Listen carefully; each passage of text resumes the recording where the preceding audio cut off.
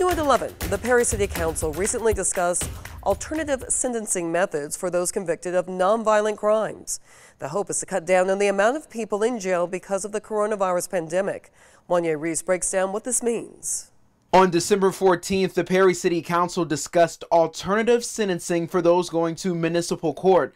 This means house arrest could be an option instead of jail time for those facing charges in municipal court. Our municipal court came to the administration and asked us to consider an alternative form of sentencing for prisoners, and it did come from the courts. Perry Police Chief Steve Lynn says this option applies only to those who committed nonviolent crimes like traffic violations or disorderly conduct. Uh, electronic monitoring, you know, the in-house arrest uh, gives the judge another option.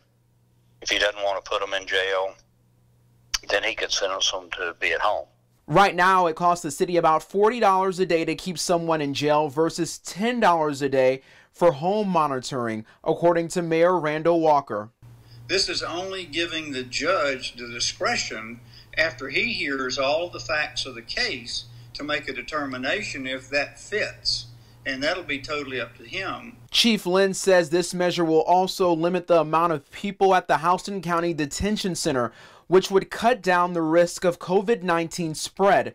Even though Lynn is on board, the measure did face some opposition. I, feel like their ability to pay their bills and support their family should have been part of their thought process before they decided to commit a crime. So I don't, I don't know. I'm just not I'm just not soft on crime. Council member Joy Peterson voted against alternative sentencing, but the majority ruled with a 4 to 1 vote. Riley Hunt was out of town, so he did not vote according to Walker.